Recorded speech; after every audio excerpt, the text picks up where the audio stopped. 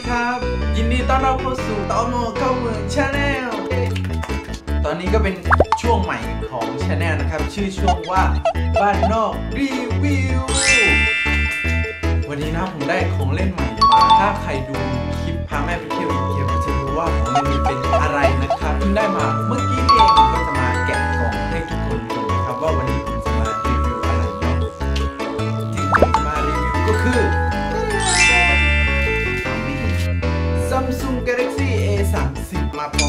ร่มของ Samsung Galaxy นะครับ ทุกคนในกล้องก็จะเห็นมันกลับด้านนิดนึงนะครับ เพราะว่าผม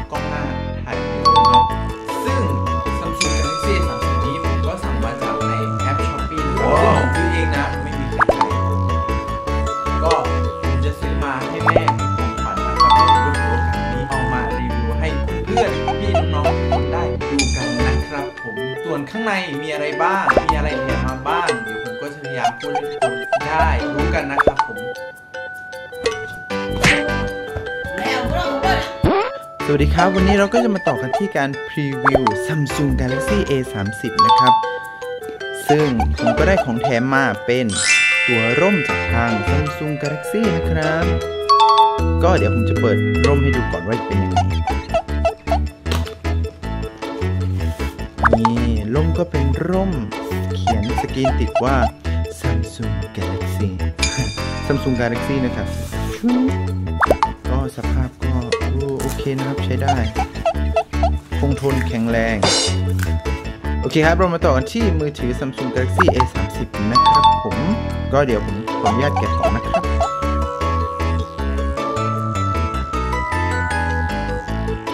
มาแล้วหนึ่งสองสาม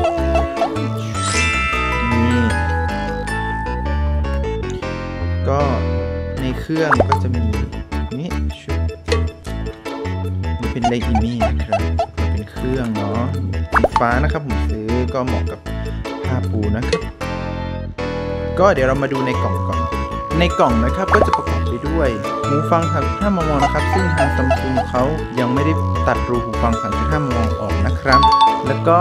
USB Type C ปมมือ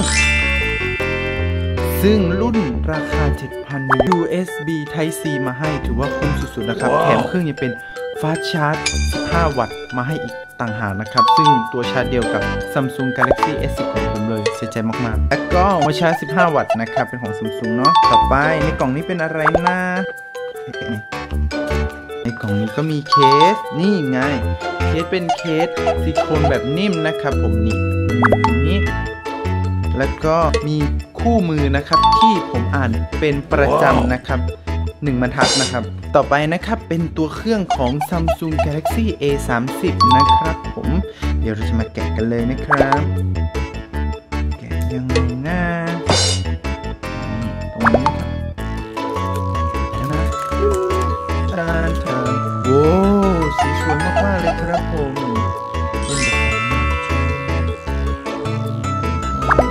เดี๋ยวเราเปิดเครื่องกันเลยนะครับ Samsung Galaxy A 3 0นี่นะครับผมก็เป็นหน้าตาหลังจาก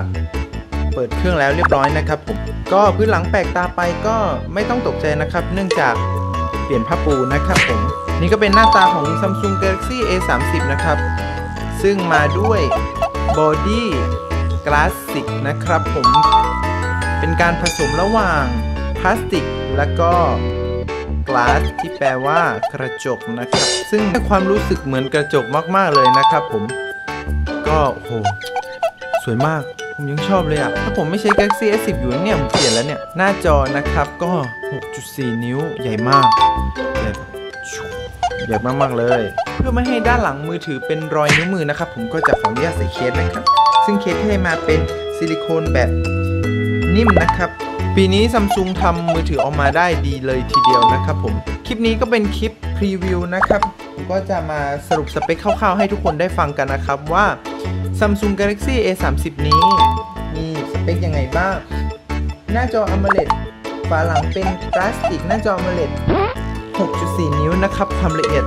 ระดับ Full HD Plus นะครับผม แรมอยู่ที่4 g b รอมมาที่64 g b นะครับผม สีเรียบหรูนะครับ แล้วก็เงาสวยงามมาก สวยดูแพงดูแพงกว่า 7,002ในราคาเปิดตัวมากนะครับ เครื่องบางเพียง 7.7มิลลิเมตรนะครับ แล้วก็น้ำหนักอยู่ที่ประมาณ 165 กรัมนะครับ ซึ่งมีน้ำหนักที่ค่อนข้างเบาเลยทีเดียว ก็สีที่เขาขายนะครับ ก็จะมีสีดำสีฟ้า แล้วก็สีขาวตามรูปเลยนะครับผม กล้องหลังนะครับอยู่ที่ 16 ล้าน f 1.7นะครับ ก็ กล้องก็ถ่ายได้ดีมาก ๆ เลยนะครับผมผมจะถ่ายหมีของผมนะครับจะให้ดูความละเอียด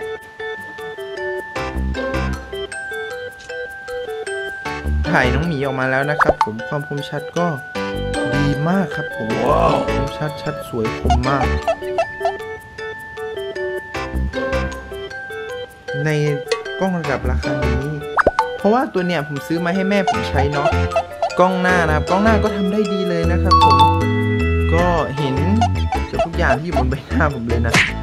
ก็ทำได้ดีครับผม เดี๋ยวผมก็จะขึ้นรูปจริง ๆ ไว้ให้ด้านข้างนะครับ กล้องหลัง Ultra Wide นะครับผม นี่โอ้โห ก็เห็นกว้างมาก แต่ Touch Focus ไม่ได้นะครับ เพิ่มได้แค่แสง แล้วก็ลดแสงแค่นั้น ก็ทำได้ดี ก็ทำได้ดีนะครับผม ก็ถือว่าไม่แย่นะ ในเรทราคาระดับนี้เนาะวิดีโอกล้องหลังก็อยู่ที่ Full HD นะครับผม